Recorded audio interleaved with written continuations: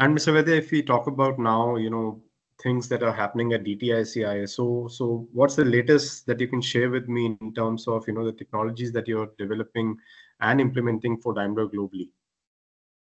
Well, I think there are a lot of things going on, but one or two things I want to highlight. One is uh, we've set up um, a, a, team for data and AI um, mm-hmm. in DTICI, which is globally responsible for driving, you know, the value of data, right? Um, this team is really, really uh, doing great. We are working with lots of, you know, businesses, functions, and teams globally to find the mm-hmm. right set of problems that can be stored, stored using data. I think, according to me, the toughest problem in the data and analytics is to find the right problem. If you find the right problem and you have the right data with the required level of, you know, quality, uh, then the the guys who have statistics and computer science background and domain knowledge can solve that. So right now that's a big focus for us because we still think uh, there is a lot to be done, and we're just scratching the surface. Uh, we've seen some initial success in that area, but I think that's one exciting area here in uh, in DTICI. And we are also working on our next generation software-defined vehicle architectures. Um, mm-hmm. And you might have seen we have a joint venture with Volvo now, which was announced some time back. So we're mm-hmm. working to see how to how to get that in. Um, and then uh, we're just about finishing up all the carve-out projects from the carve-out that happened three years back. Mm-hmm. Um, so this continues to be an exciting time for engineering and IT. Right. So in when when you talk about this team that you've built for data and analytics, so what sort of application or interventions are they doing? I mean, is it on the manufacturing side, on supply chain, on uh, logistics? I mean, well, all of that. Um, but I think uh, the major wins we've had in the recent past is in the area of after sales, where we are building things like pricing analytics, um, the the way to price our our spare parts in the market based on the demand. You want to maximize profitability, you want to reduce inventory, and so on. So in mm-hmm. those areas, we've had uh, really good success. Uh, but we are working on what we call as the digital factory layer, which is in uh, logistics and production. Mm-hmm. So all of these areas we're doing, and I would put it in three tiers, right? One is the foundational first principle-based models, which are basically machine learning models we built. The second is we bring in tools like Palantir and see how we can use them. The third mm-hmm. is we're working on some proof of concept and pilots in the Gen AI space. So all three tiers of machine learning slash AI are mm-hmm. extremely important for the business. And we we always come at it from what kind of business value this can drive. We mm-hmm. don't do technology for the sake of technology. We are mm-hmm. not a technology organization, we're an engineering organization. So we always look at it from if it is Gen AI, what can Gen AI do to the business? Is it mm. efficiency? Is it productivity? Is it effectiveness, right? Mm. And when we build the foundational models, which is what has been the work going on for many years, we always ask, what business problem are we trying to solve? So I think that's been the foundation. And in all three tiers, which is building first principle foundational machine learning models, second is bringing in the tools like Palantir, mm-hmm. or third is, you know, using the latest and greatest Gen AI and all the buzz around it. Uh, so all three tiers, uh, we're trying to see how we can deliver business value.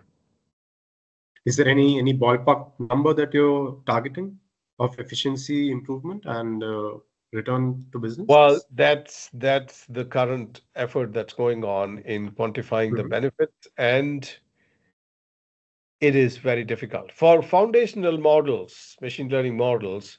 I think we know how to do it, right? For pricing okay. analytics, we can see how we can price better, and we're working on predictive analytics where we can predict failures and hence save cost on warranty. It is kind of okay to mm-hmm. put a number to that.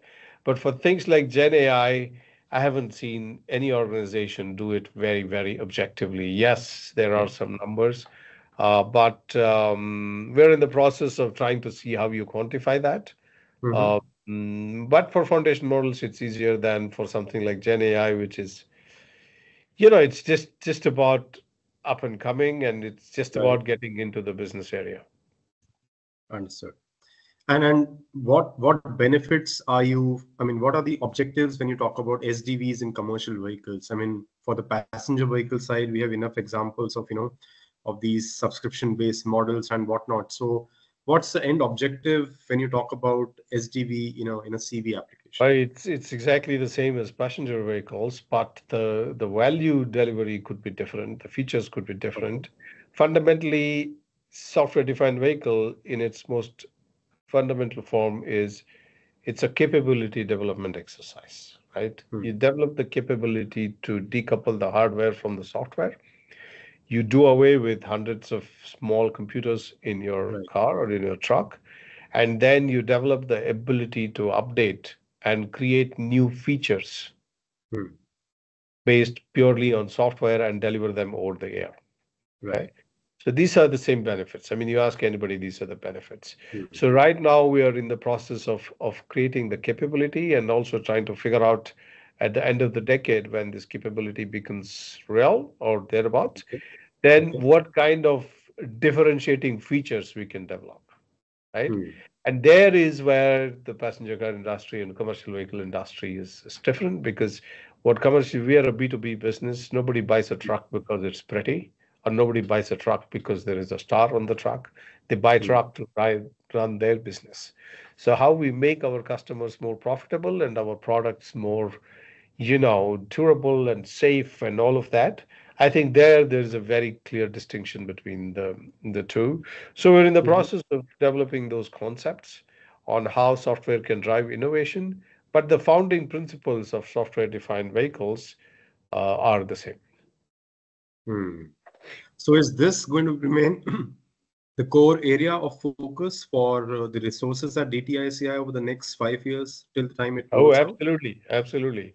So uh, this is going to be the focus on how to make software uh, a big differentiator and how to uh, create features which are which can be flashed over the air and we don't have to bring the trucks to the to the service centers and so on. This is going to be a focus for a, for a fairly long time. Mm-hmm. And uh, in the process, are you also going to expand your teams uh, uh, to, to be able to do all of this? Well, that's a byproduct of what we want to achieve as impact. Uh, mm-hmm. But yeah, that's that's also on the cards. Yes. Mm-hmm. And uh, what sort of growth you're looking at, Mr. Vaidya, over the next five years for DTICI? I think this is where Anushree will butt in and say, we don't talk about numbers. So I will do it for her. So we don't talk about numbers, uh, either current or what our plan is, because that's not the focus either. The focus is to maximize the business value okay? Mm-hmm. And how do we bring more and more uh, value to Daimler Truck as a business globally using mm-hmm. engineering and technology? That's the focus. And if it means adding people, then it means adding people. Uh, but we don't talk about uh, those kind of numbers. But your key driver of growth is going to be this SDV development uh, in the foreseeable future. Well, that and IT and and mm-hmm. uh, conventional engineering. So there is um, there are a lot of let me put it this way: there are a lot of engineering problems to be solved in the next five to ten years, right? All the transformation you see in the, in the transport industry is all centered in engineering, creating new technologies, creating new products, right. finding new way of doing things. So this this is what is going to drive the business, right? So, and we are an engineering center. When we understand our products, our market, our our areas very well. So we will continue to uh, grow in providing that value. So everything that we do is either making our products better or making our customers more profitable. There is no mm-hmm. third way. So it is still a huge engineering problem to be solved, and we're right at the at the epicenter of that. Hmm. Right, right, absolutely. Just one last thing, Mr. Vaidya. How do you see the the implementation of these technologies with respect to the Indian market? You know, SDV. How do you see it evolve in the Indian context? Well, we also work with uh, our um, Indian business uh, center in Chennai, um, and and we see that uh, being adopted in a different way than the West because uh, the transport solutions are very localized, Hmm. right? Uh, and we we create products and trial products that the current the the market needs. Because, like I said, nobody buys a truck because it's pretty, or nobody buys a truck because it's Mercedes-Benz. They buy truck to run their business. So the products in India are different. They are evolving, um, and they're using more and more software. So we work with Bharat Benz uh, brand as well uh, to do what makes sense for the local product and the market. Sure, sure. Mr. Vaidya, thank you very much. Really appreciate talking talking to you and uh, really appreciate your time.